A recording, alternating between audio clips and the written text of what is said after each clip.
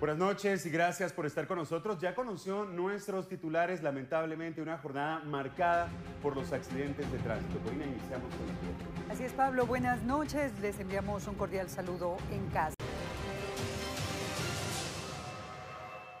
Estamos de regreso en breve, vamos con el detalle, con el resultado de un pavoroso incendio que se registró esta vez en una comisaría de la Policía Nacional Civil. Ya en minutos vamos con el detalle completo. Por ahora, ya se lo habíamos adelantado, vamos a hablar nuevamente del volcán de Pacaya, ya que este coloso ha vuelto a incrementar su actividad.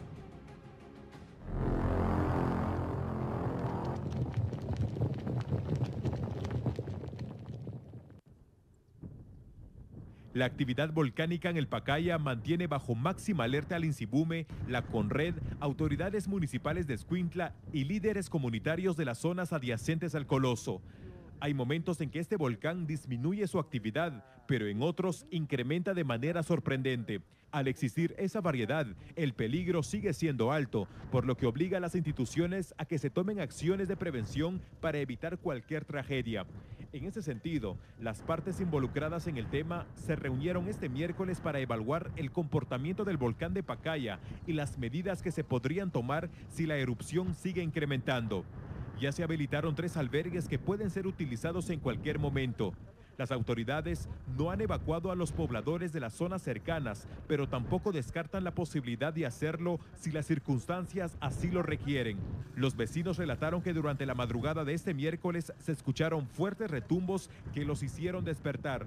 Al salir de sus casas, observaron que el volcán estaba expulsando lava y ceniza. Para algunos, este es un tema de preocupación, para otros, una actividad normal que incluso la observan de manera frecuente. Varias comunidades se han visto afectadas por la caída de ceniza sobre sus viviendas y sus cultivos.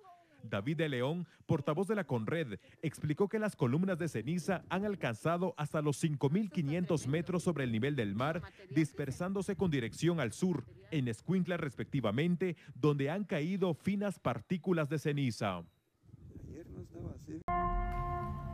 Momento para actualizar las cifras de la pandemia en suelo guatemalteco que continúan siendo alarmantes, amigo televidente. Ayer, martes 2 de marzo, se realizaron un total de 6.279 hisopados. Se registraron 839 nuevos casos. Lamentablemente, 15 personas perdieron la vida. No en las últimas 24 horas, pero sí en fechas anteriores. Le presentamos ahora la situación general, el panorama completo de la pandemia actualizado, por supuesto, en nuestro país. Ya tiene usted las imágenes, 176 mil 250 casos se han registrado en nuestro país. Según los datos del Ministerio de Salud Pública y Asistencia Social, 163.009 personas se han recuperado. Lamentablemente, 6.427 personas han perdido la vida, amigo televidente, y además que continúan siendo portadoras del virus 6.814 personas. Esta es la situación del coronavirus actualizada en suelo guatemalteco.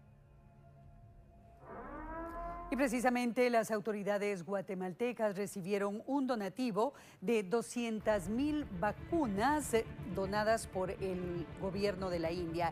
El objetivo es inmunizar a 100 mil trabajadores del sistema de salud. En un acto simbólico, el ministro de Relaciones Exteriores, Pedro Brolo, resaltó que este es un gran paso en el plan de vacunación para nuestro país y resaltó la importancia de la cooperación entre ambos países. Ahora se espera que se realicen las gestiones respectivas para poder obtener nuevas donaciones de la vacuna contra el COVID-19 y también facilitar la llegada de las dosis que serán adquiridas por el Ministerio de Salud. Y contamos eh, con más información relacionada a la prevención del COVID-19. Aunque el proceso de vacunación ha iniciado en nuestro país, recuerde que la pandemia continúa y debemos continuar con los protocolos para evitar el contagio. Se ha estudiado luego de la segunda dosis. Si bien es cierto que la protección aumenta luego de la primera dosis, eh, es luego de la segunda dosis donde se, alcanza protección casi del 100%. Eh, hay que hacer énfasis en que cuando hablamos de protección, eh, lo que están midiendo, la efectividad de las vacunas se está midiendo en prevención de enfermedad severa, hospitalización o muerte. De hecho, eh, se puede prevenir con las vacunas eh, hasta un 60% de las hospitalizaciones o hospitalizaciones en el intensivo y mortalidad eh, por coronavirus.